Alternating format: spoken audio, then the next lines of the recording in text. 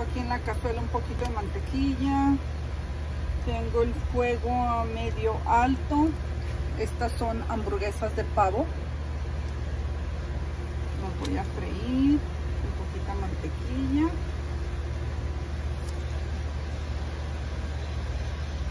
Estas son de las que venden en el mercado ya congeladas.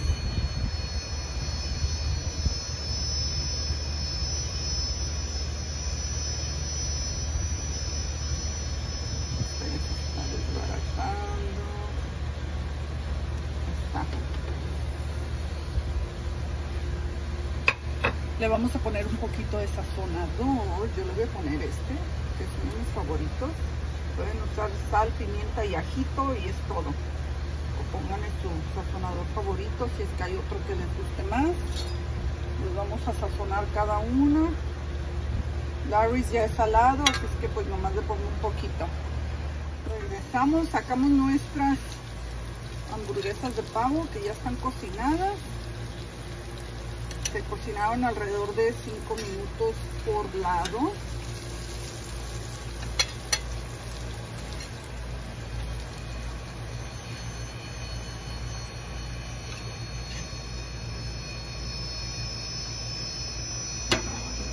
Están cocinadas, las vamos a poner a un lado.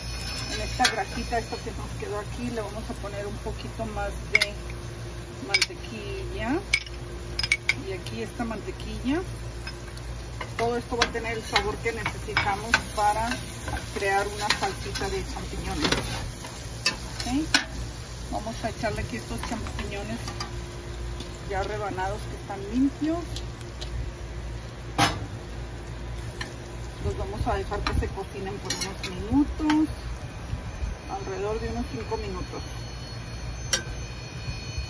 Ya tengo los champiñones se tomó alrededor de unos 8 minutos en freír. Los voy a quitar y los voy a poner de lado. Le bajé un poquito el fuego a mi cazuela. Miren, quedaron doraditos. Ya saben que se reducen de tamaño. Y aquí tengo crema para batir de esa pastelera sin azúcar que le vamos a poner aquí alrededor de una taza de crema pastelera.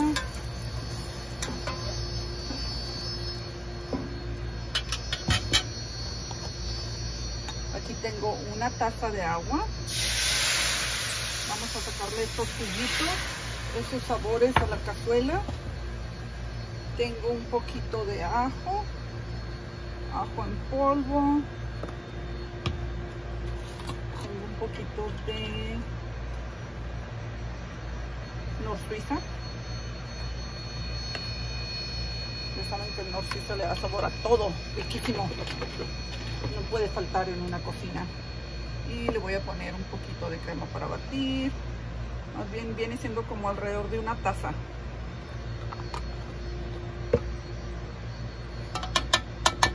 Le voy a subir el fuego, ahora sí. Vamos a dejar que esto hierva y que saque todos esos sabores que tiene aquí, que se pegaron en la cazuela de la carne y los sazones que ya le pusimos a la carne.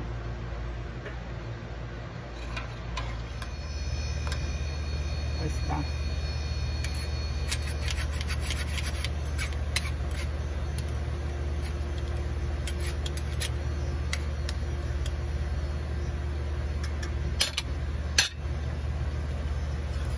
Vamos a vaciarle los champiñones. pueden probar su crema de sabor, a ver qué les falta, pero pruébenla ya que le vacíen los champiñones, por si los champiñones recuerden que tienen, están saladitos porque ya absorbieron todo el sabor que estaba en la cazuela. Vamos a dejar que hiervan aquí los champiñones. Está el fuego mediano, le vamos a agregar nuestras rebanadas de pavo.